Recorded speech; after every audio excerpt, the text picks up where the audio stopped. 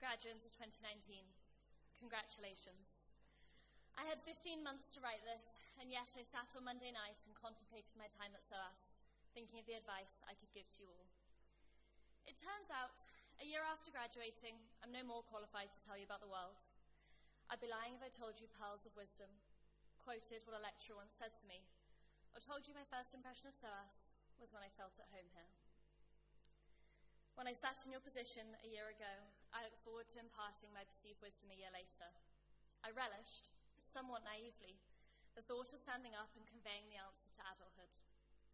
I thought about giving you my top advice from my four years here at SOAS, and I realised it may not be so applicable to you all. Don't date someone because their backpack matches yours. Don't become co sports officer with the guy you fancy. And definitely don't date someone for their Parmigiana making abilities. A less than useful list began to form on my page. And then I realised not only have I not left the bubble, but that I don't think you ever feel wise, that pearls of wisdom are perceived by the listener, not the speaker. I even Googled some pearls of wisdom to impart upon you all. The success in life is not for those who run fast, but for those who keep running and are always on the move. That there is a difference between an open mind and an empty head, and that life is 10% what happens to us and 90% how we react to it. It was upon this hopeless Google search that I realised it is not what we have learnt, but how we have learnt it. How we adapted to our environment, overcame barriers, and engaged with the subject. That SOAS didn't try to give us the answers, but it taught us the tools to succeed. I chose these words carefully. SOAS did not hand us these tools. They were not uploaded on a Moodle page or piled into our ever increasing student email inboxes. These tools were nurtured, developed, and grown through our interactions with academia and each other. For the parents, families, and friends wondering what this mysterious place is all about, let me try to tell you. I attempted this very feat in November when welcoming prospective students into our community. I told them that SOAS is more than what you learn in the classroom, that whether you're in the JCR, on the fourth quadrant, or in the Hare Krishna queue, you'll be challenging the status quo. That SOAS is a place of critical thinking, a place where ideas escape their Eurocentric roots, and a place to meet the world. I preached that over 250 societies and a democratic union were the hub of life at SOAS, that the parties will be big and the essay cramming will be worth it. But what I didn't tell them is it's not the tutorials, it's not the lectures, and it's certainly not the union that makes SOAS a place we all call home. SOAS is what it is because of you all, because of the conversations you have, the questions you ask, and more importantly, the answers you give. It is this that has prepared you far more than you may ever know or feel to leave SOAS. Walking out of graduation today adds one line to your CV, but walking out of SOAS gives you the skills and perspective needed to change the ever challenging world we live in. But you didn't get here alone. You didn't get here because of the countless pages you read, the hours you spent in the library, or the espressos that got you through dissertation season. You got here because of those sat beside you and those sat behind you.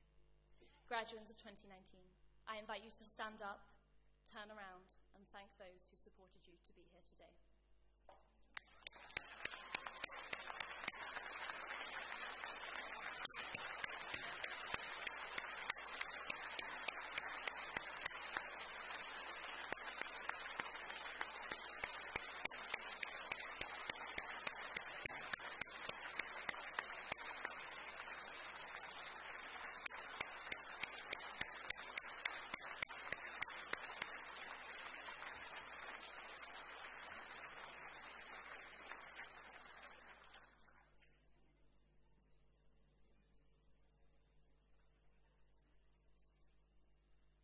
I know you woke up this morning and panicked about your shoe choice.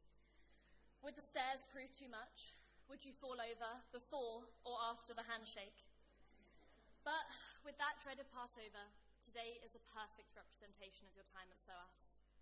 In this room alone, we have international relations students, music, politics, Southeast Asian studies, Vietnamese, Pacific Asian studies, African politics, Asian politics, Middle Eastern politics, and comparative, and comparative political thought, to name a few.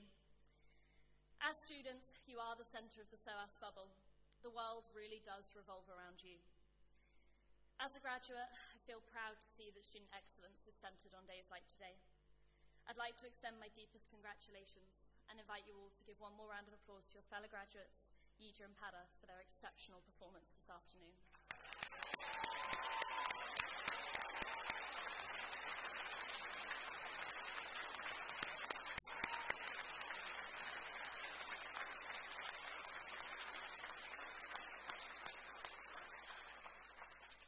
Of 2019, you are joining a group of esteemed graduates who have gone out to shape the world to be a better place. But I urge you to remember the future is not nine to five. Your value cannot be ascribed to an hourly wage or a monthly paycheck. And your mind is powerful and your thoughts are unique. When you step out of the SOAS bubble, bubble you will discover a world far bigger, far more diverse, believe it or not, and with far more ignorant people in it than those you have grown close to. Do not assume knowledge, do not hesitate to stand up for what you believe in, and do not hesitate to be an ally. So, I can't tell you how to be prepared for what lies ahead or how to get that graduate job. But I can assure you, the experiences you have had here, the things you have witnessed, the debates you have engaged in, the campaigns you have spearheaded, and the people you have met are worth far more than any CV graduates of 2019. It has been a privilege to be in your Students' Union this year. I have learnt more about myself than I ever expected, and I value both the praise and criticisms we received. I wish you the best of luck as you step out of the bubble.